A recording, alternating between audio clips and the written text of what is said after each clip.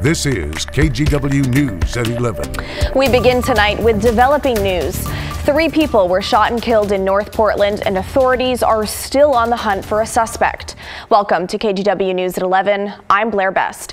There have now been 17 homicides in Portland so far this year, and at this point, police have not released a motive in today's shooting, and Art Edwards has the latest on that investigation.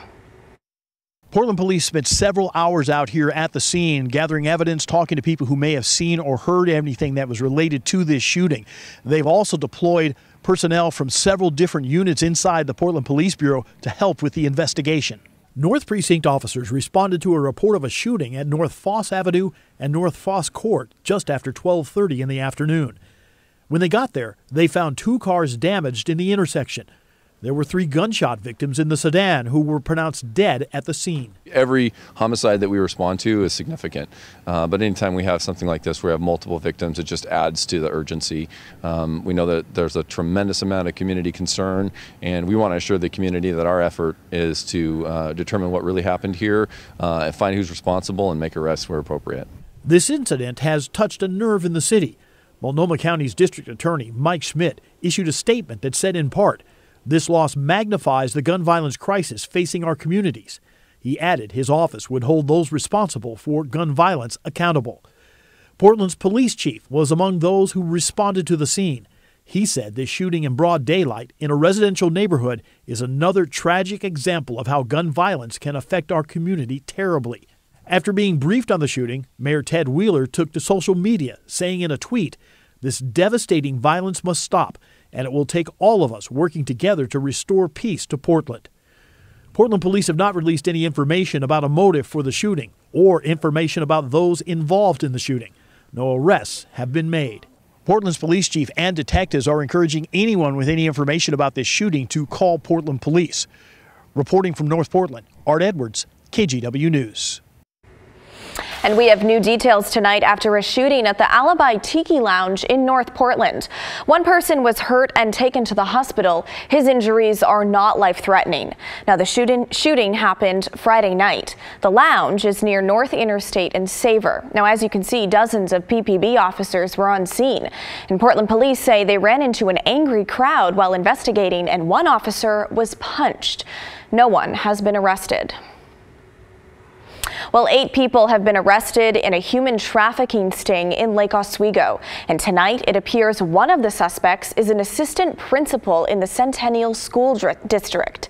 The district says it was notified of Terrence Schloth's arrest Friday. Lake Oswego police listed him as one of the suspects caught Thursday in the sting.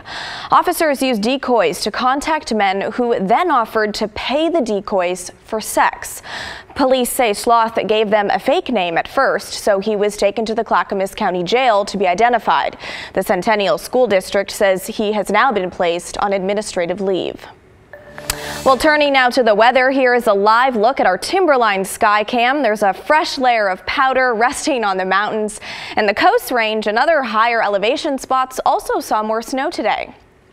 We'll bring you the latest from the Coast Range in a moment, but first, let's bring in meteorologist Joe Ranieri. And Joe, just how much snow did we see in the mountains today? Well, over the last 24 hours, closing in on close to about two feet of snow outside Timberline Lodge and Mount Hood Meadows wasn't far behind. Uh, Mount Bachelor was right around at 20 inches, and we're late March. Now, it's not uncommon to do some spring skiing, and yeah, with all those numbers I just told you, there's going to be plenty of fresh powder uh, over the next couple of days. Tonight, we could be seeing those snow showers taper off a little bit, but all the watches and warnings have expired. But as we look at the radar, uh, parts of Portland are dry right now, but just the east side, we're starting to see some showers starting to roll through at, at this hour. And again, heading into tomorrow, Blair, there's still a chance we could be seeing some pockets of a, a mix of some rain and snow showers down to the valley floor. Again, that snow level is down to 500 feet. As we put Futurecast into motion, we'll go through tomorrow morning, have it stopped here about 7.30. We'll see a mix of some rain and snow, basically 500 feet and higher. That's where you could be seeing some light accumulation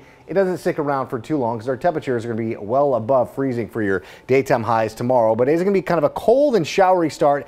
As we go into the morning hours, the threat of any accumulating snow is really out of the picture. There could be some snowflakes in the air, and that is about it. Heading into the afternoon, we'll continue to see some scattered showers. I do have a couple of nice days ahead. Of course, Oregon spring break is right now, and uh, you could be looking at maybe two, three days with some sunshine. But it's not going to be as warm as I think a lot of people like. I'll have details on that coming up. All right, Joe, thanks so much. Well, this morning, many of you woke up to a dusting of snow across our area, especially at higher elevations. And while it didn't stick around for long, Alma McCarty was in the coast range as many travelers began spring break in not so spring-like conditions. Although the snow was starting to melt around midday, there was a lot more of it earlier Saturday morning, and it came as a welcome surprise to drivers heading to the coast. Whether the start of spring break or a quick day trip, travelers found themselves in a winter wonderland winding their way west. We didn't check the weather, so we encountered some snow on the hill. It was it said it was a winter storm on our uh, map app, but it really wasn't that bad. We did not expect there to be snow. So yeah, it's it's really pretty and the roads look like they're being kept well. I feel like the weather changes so much from like downtown Portland to the coast that like it could really be anything. I'm not like completely surprised, but I'm just happy that it looks so pretty. Like I love all the snow on the trees. It's like a snow globe. Cloudy skies cleared, and despite some slowdowns and slush, drivers reported minimal issues. The driving there was smooth, uh, the views were beautiful, and we can't wait to continue onto the coast. Robert Trujillo and his girlfriend, visiting from Seattle and California, arrived in Portland Friday and made the trip to Cannon Beach. I saw the sun come out, so I think uh, it wasn't really that bad of a storm, if, there, if there, you could even call it a storm. He absolutely loves the snow. Kevin Leese brought his dog Frankie. Come here, Frankie. Come here, boy. To enjoy the short lived snowfall. Oh, I was surprised. I live on Germantown Road and woke up and had probably about a half an inch of snow at my place. And and decided, well, if there's snow at my place, there's probably snow on the coast range. In higher elevations, ODOT continues to urge caution, especially when driving in the Cascades and Coast Range. They're monitoring the situation with overnight concerns about refreezing slush on the roads. In Clatsop County, Alma McCarty, KGW News.